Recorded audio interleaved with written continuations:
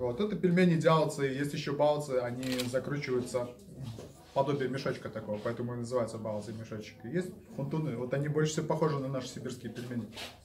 То есть, скорее всего, если вы лепите пельмени, то вы лепите хунтуны.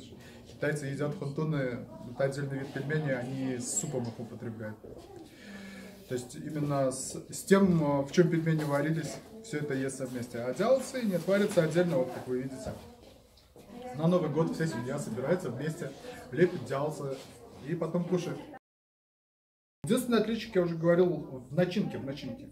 Только в начинке. То есть попробуйте смешать кукурузу, добавить немножко, просто нарубить петрушки и укропа. Если... Конечно, не только в пельменях дело, на самом деле в соусе. То есть, но грамотный соус приготовить довольно сложно. То есть нужно весь этот набор китайских специй найти. И китайцы очень любят очень остро.